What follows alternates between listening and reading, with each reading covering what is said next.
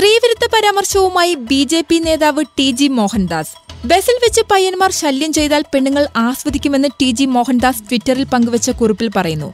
ഞാൻ പറഞ്ഞത് സത്യമാണ്. അൻപത്തിയഞ്ച് എഴുപത്തിയഞ്ച് വയസ്സുള്ള കിളവന്മാരാണ് ചെറുപ്പക്കാരികളെ ബസ്സിലും മറ്റും ശല്യം ചെയ്യുന്നത്.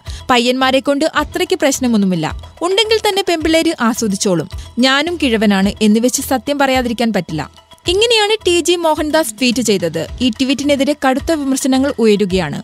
കോവിഡ് നയന്റീൻ വൈറസ് ബാധ വ്യാപിക്കുന്ന സാഹചര്യത്തിൽ പ്രതിരോധ പ്രവർത്തനങ്ങൾ ശക്തിപ്പെടുത്തുന്നതിന്റെ ഭാഗമായി അറുപത്തിയഞ്ച് വയസ്സിന് മുകളിൽ പ്രായമായവർ പുറത്തിറങ്ങരുതെന്ന് കേന്ദ്രം നിർദ്ദേശം നൽകിയിരുന്നു.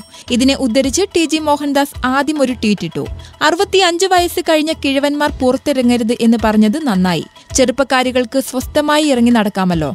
കിഴവന്മാർ മഹാശല്യമാണെന്നേ. ഇല്ലേ? ഇങ്ങനെയായിരുന്നു ആദ്യ ട്വീറ്റ്. ഇതിന്റെ തുടർച്ചയെന്നോണമാണ് രണ്ടാമത്തെ ട്വീറ്റ് മോഹൻദാസ് കുറിച്ചത്.